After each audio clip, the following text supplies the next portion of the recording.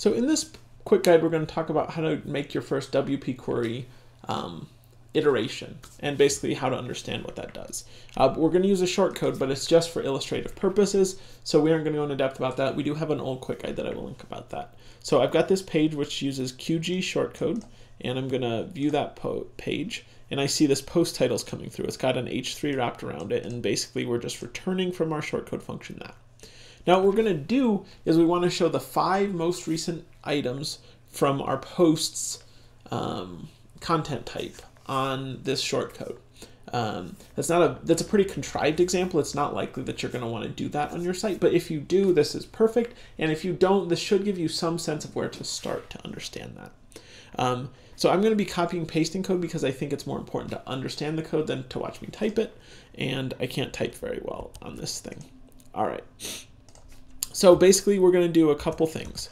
First, we're going to do, we're going to create a uh, uh, iter instantiation, uh, an object of the WP query class by saying new WP query. Um, and we're going to assign that to the var variable q. Um, I recommend highly, highly, as you start to learn WP query, that you familiarize yourself with this page on the codex. It is really, really useful and it tells you how to do anything. You want to know how to uh, do a query based on post status. This is how you do it. If you want to know how to do one based on um, taxonomies, this is how you do it. It's all built into this codex page, and so this is your source of truth. It's better than anything I've ever found anywhere else on the internet that aims to do this. Um, but basically, in general, for a WP query, you create an array and you pass it into it, and then it gives you back the stuff.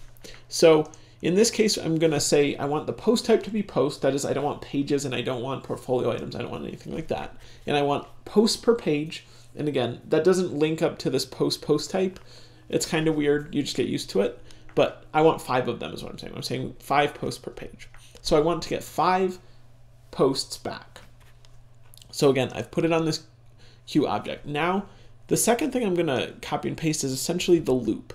If you've ever done any WordPress theming, you've probably come across and understood the basics of the loop. And that is exactly what you always use with WP Query. You use the loop to iterate through the objects in the not always, but 99% of the time for most WordPress developers, you're going to use the loop as your way to iterate through the values that you got back from a WP query.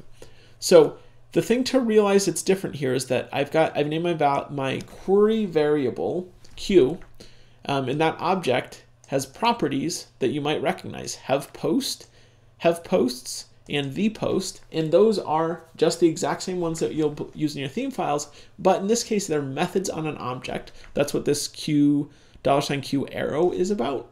And you don't have to call it q. You could call it the query. You could call it custom query that gives me five posts. You can call it whatever you want. Um, the, the core thing is you need to use this arrow syntax to say the method on that rather than doing the generic one that'll refer to the global query that WordPress sets up for you.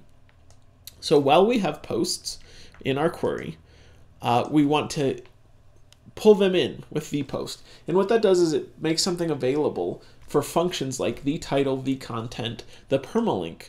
And we're going to use get the title here, which is a one of those. And we're going to basically take the existing contents of what I'm calling a buffer.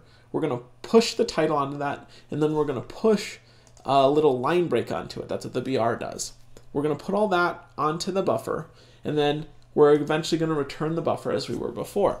In between there, we do this WP reset post data thing, and that's because we've called the post, and so we've clobbered essentially something in the global landscape for the rest of WordPress to work with. So we reset it by calling WP reset post data.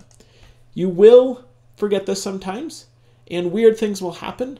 And that's why you always want to get in the habit of just always writing WP reset post data in there. So with all this code saved, if I reload the page, I'll see my titles there.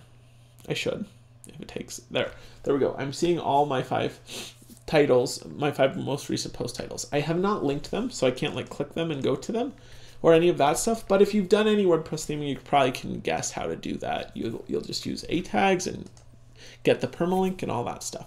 So that's the basics of how to create your first WP query. We happen to do it in a shortcode, but you can do it anywhere inside WordPress code. Hope that's helpful.